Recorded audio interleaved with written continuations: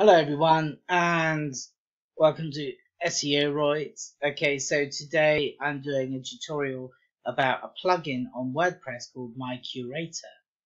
Okay, that's My Curator, C-U-R-A-T-O-R.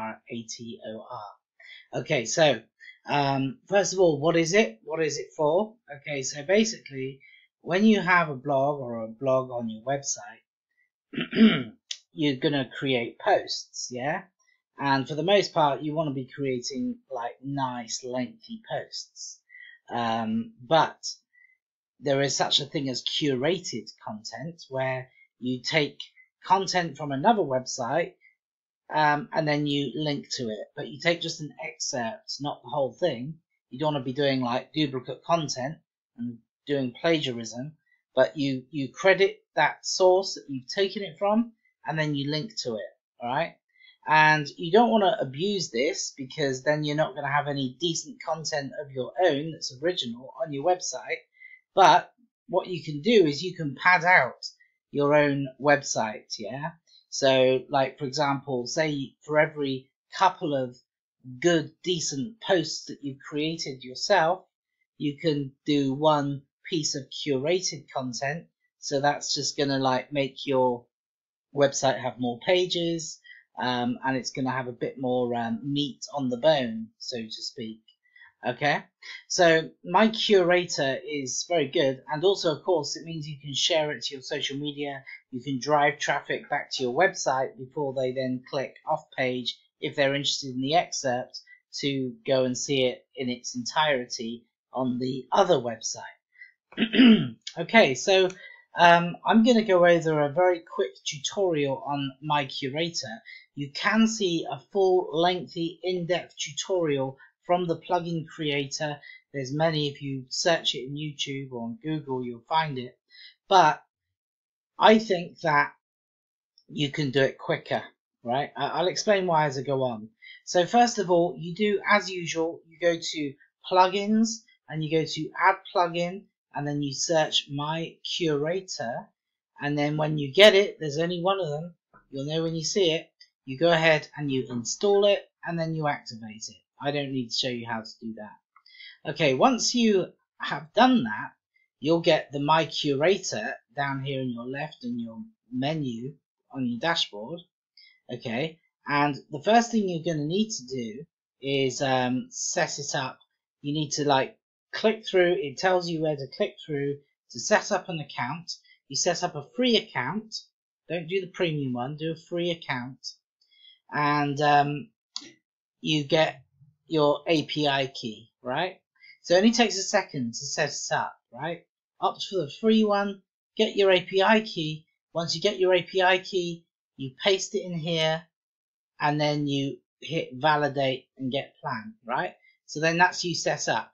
And now the next thing you need to do, you see, right, what my curator enables you to do is actually find, automatically find content on the web, pull it and publish it all automatically. It's a great plugin, right? So you don't even have to do anything, right? You don't have to go looking for it. It just does it for you. It's brilliant. But I don't like that because I want to know what's getting published on my website and I want to cherry pick um, articles that I want to link to on my website. So I'd rather take away that automation and do it manually, right? So this is the way I do it. So under your in your submenu under my curator, you've got get it and source it. Okay? So what you do is you click on that and you don't want to do the source it part, yeah, because we just talked about that. Yeah, I mean you can if you'd like, but this is the way I do it, right? Um, there's the get it, right? You see that get it there where my mouse is? It's underlined, which means it's a it's a clickable, it's a link. And what you do is you left click on that and you drag it and you drag it up to your uh, toolbar up here where my mouse is. And I've already got them. You see that? I've got Get It AS, that's a client of mine. Get It APAT, that's another client. Get It ML, Get It LWD. So basically you drag it and then you drop it, right? Once you drop it in here, you, you, you get it. And then what I do is I right click and I manage my bookmarks and then I rename it because I've got lots for many websites here, right? So you'd rename it so you know what it's for, okay?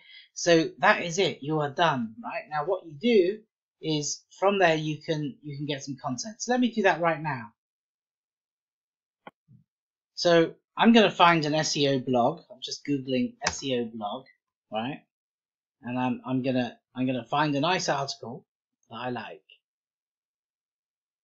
Okay. So let me just find that. So I just found a nice article. It's called "Should You Keep Your Best Content on Your Site or Send It Away?" Right. I just just found that, and uh, it's a nice article. You know, pretty good. Comes from a reputable site. Right. So what I'm going to do is I'm now going to go to my bookmarks up here and I've got Get It SEO Roids, which is my site. Okay, and what I'm going to do is I'm going to click that. Okay, then I get a pop-up box. Okay, and I wait for that pop-up box to load. Now the image imports, everything imports. Okay, so um, I'm going to get the uh, category and I'm going to ch change the category here. This is all my categories in the drop down. So um, we'll call it SEO tips. I think that probably best describes it. SEO tips and then you're going to save, draft, and edit. Alright? Once you do that, it takes you to, in your dashboard, it takes you to that post that you just pulled, right? So it's basically created you a post. So you've got your own URL, um, it's your own post, it's saved as a draft, and now what we're going to do is we're going to do a couple of little bits to it, and then we're going to publish it, right? Okay, so basically, you've got your title, it's created your slug, right? And um, I'm just waiting for it to load. It's being a bit slow because I'm screen recording. So this is what you get, right? I haven't had to do anything so far. I just clicked one thing on my mouse. So I've got an excerpt here, and then here I've got the link.